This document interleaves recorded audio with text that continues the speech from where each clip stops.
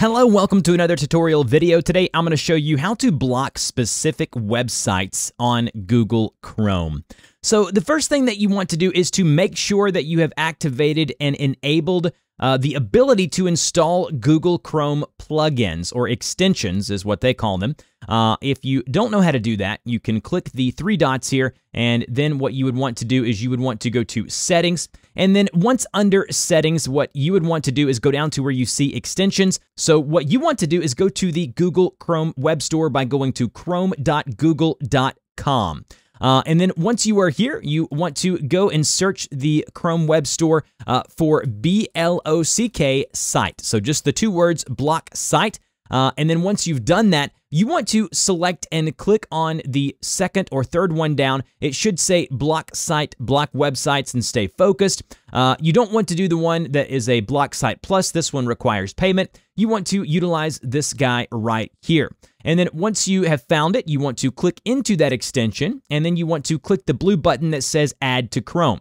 It says it's going to read and change all your data on all websites. Go ahead and say add extension. You're good with that because it's going to have to be able to do that in order to block specific or certain sites. Then it's going to ask you to go ahead and accept. So click the green button that says I accept and then go ahead and skip the payment option there because you don't want to pay for it. And then what you want to do is click the skip button until you get to the actual interface. You'll see some confetti come down. And now what we want to do is you can see here that we have uh, the tutorial kind of walking us through what to do. But what we want to do is go ahead and type in right here where it says enter a web address we want to go ahead and type in the uh, website that we want to block. So go ahead and type in whatever website that may be, and then click the green button over here that says Add Item. Now you can see under my blocked sites, I have one, which is this website here. And then if I wanted to, to just double check, I could open up a new browser tab and I could try to go to that actual website.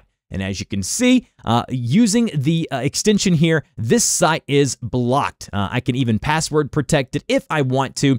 Uh, but if I go back to the uh, block site kind of extension page here, and I'm like, hey, I want to go ahead and delete that, you can click the uh, trash can here, and it will remove that specific blocked site. Also, you can block by words. You can actually click on the block by words option here. And if you have specific words or phrases like social media, Facebook, uh, TIG, whatever you want it to be here. You can enter a word or a phrase, and that will block all sites associated with that. It casts a rather wide net, so be careful when you do that. And if you want to, you can enable or disable this extension uh, by just selecting right here where it says blocking. You have the little checkbox here. We can disable by just you know going ahead and turning that off and then you can see it's going to be turned off. But if we enable, it's going to be over to the right and set to green. That's going to make sure that any site that we have blocked here is indeed going to be blocked. There's a number of reasons why you'd want to do this. If you have kids or teenagers, or you're at a school or a workplace and you want to blo block specific sites for your employees or students,